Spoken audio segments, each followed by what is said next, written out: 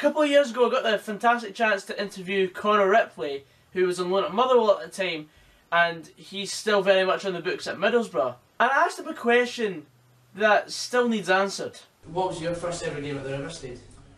First game at the Riverside. Hey, no one's ever even told me, asked me that. Ah. I, I don't even know. You don't know. I don't even know, honestly. So I decided to answer it myself.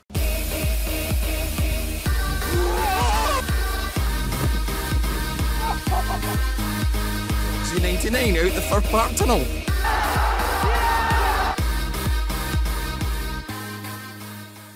Hey guys, Goggsy here, and welcome to something different. Today, because Motherwell were too shit to qualify for the next round of the Betfred Cup, I thought I'd treat myself, and Adam's coming along with us, and we're going to two football games today.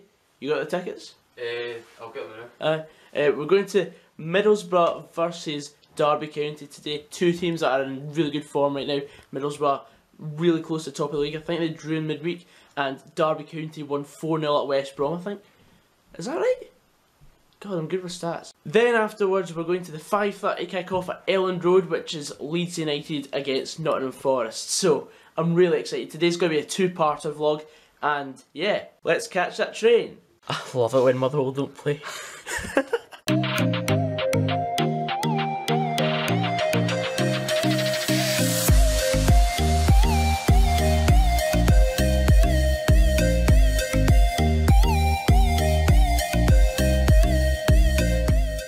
Adam, you looking forward to today? Oh yeah, we took out games, so Oh, aye. makes a Definitely. change. We, I, I don't think we could have picked any better day or games to, to do this, so really looking forward to it. Anyway, those who are new to the channel, you know, English football fans, basically, we're Motherwell fans, well, it's my channel, and we just, whenever Motherwell don't play, we, we go to a game where we find interesting.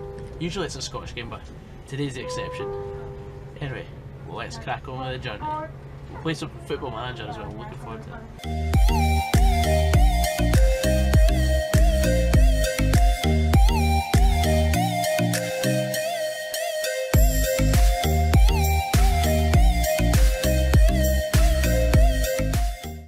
So now we're in Middlesbrough.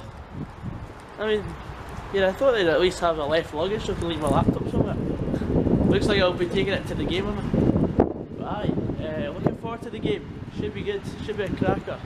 And here we are at the Riverside Stadium, home of Middlesbrough FC. And for anyone disputing the name, yeah, that is a river. And it's next to the ground, so it's the Riverside. Get it? Ah, yeah. Banter. Back in my day, they didn't have FIFA at football grounds. Here we go, first game of the weekend. Middlesbrough beat Derby County.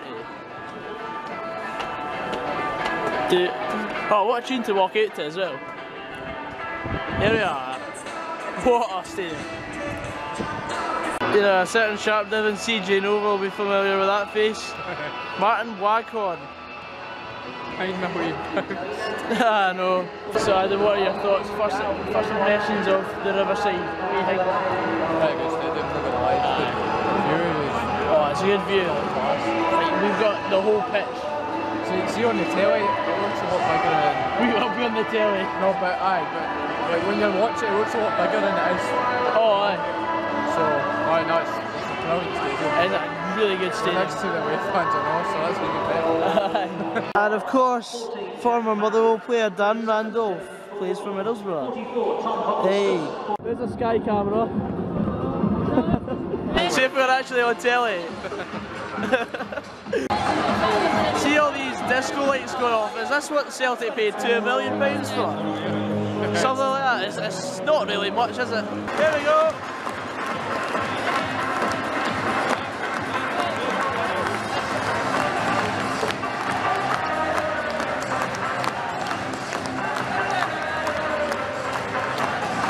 The main reason we are here today to see Big Daz, Darren Randolph, back in action. Been ages since we had it. Never thought I'd see the day. Um, same ground as Frank Lampard. And just along here is Tony Pulis. Malone snaps in for Derby. Over the head of Marriott, but bundled in Waghorn strikes. And that's 1 0 Derby. I think it's well done there. I think it was Waghorn that got the goal. Last time he scored at Fir Park, I never thought I'd see him score again. I'll tell you what, Derby deserved to win. 1 0 after 18 minutes. To half time at the Riverside, it's 1 0 Derby, and Derby are really deserving of being top of the league because it's a top of the table clash. Whoever wins this goes top. And Middlesbrough have been very slow, and whenever they get the ball, just done another one, just wasted chances and wasted possession. And whenever Derby get the ball, they're fast, break forward, and that's the difference in this game. And that's why I think Derby's going to win it. But the time for Middlesbrough to score all come, pretty sure. But they just need to get a bit quicker on the ball. That's the thing, they don't actually have any pace. And in the second half. And the second half's about to kick off. 55 minutes on the clock, and Middlesbrough just used all three subs. So let's see if we can, they can get back into the game. About 50 minutes to go now, Middlesbrough have a corner with a great chance, could have easily scored there. Oh, Who's gets dead missed that? All that That's some that is a big, big miss. for your centre forward. She said, You, you put your mortgage on your centre forward to score that. Oh! Corner! Corner! Come on! I thought I was in for a minute. Woo! Take it now then. That's Bogle.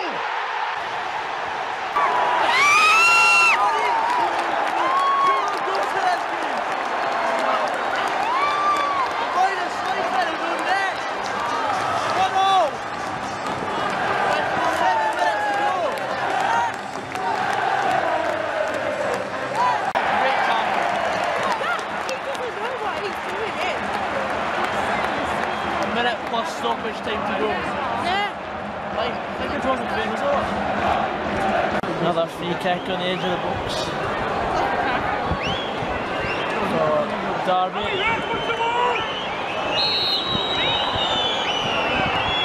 Oh! Yes! You know the contact that it- where it hit the wall? Come on, Boro! Three minutes of stoppage time left. And Who's it? Fry clears That's it. it. Coming down with snow on it. Johnny! Come on, Johnny! Come on, Johnny! Go on, Flint! Oh, Braithwaite just stood on the ball. He's better than that. Better than that. Keep strong, lads! Come on! Come on, Randolph! Round. Come on, man. Bill Jay, one each. Hey, was it fair as well? Right, train. So now we're just going to leave you here and um, this is pretty much the end of part one. I'll do a wee post-match analysis and I'll cut to that right now. So, all in all, the game itself, I thought Derby over the whole had the game. But if you don't score enough goals when you're on top, you'll get punished. And after a fantastic first half from the away team, I thought Middlesbrough were lucky to still be in it. But they grew into the game, and of course, Derby scored after 18 minutes.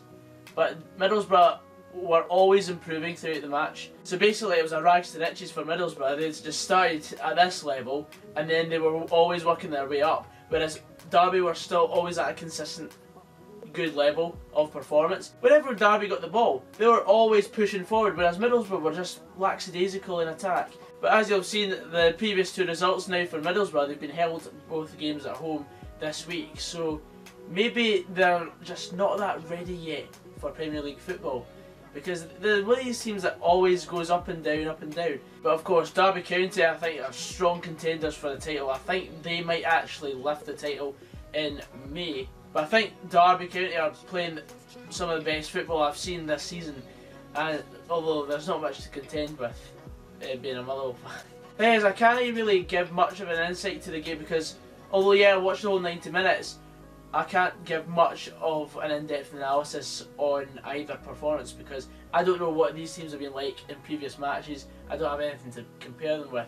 So I, I just want to say it was a good game. I really enjoyed the match, and I do promote going to matches as a neutral because, for one, you're not stressing and you're not pulling any hairs out if you're watching uh, two teams that you don't have any affiliation with. It's just the fact it's a good game to watch.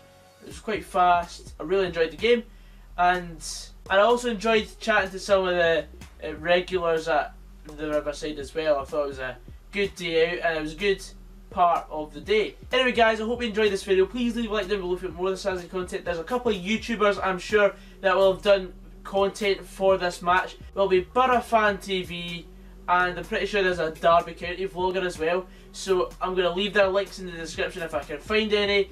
And yeah, I hope I didn't steal their content. Which is why I've uploaded this about Sunday or Monday.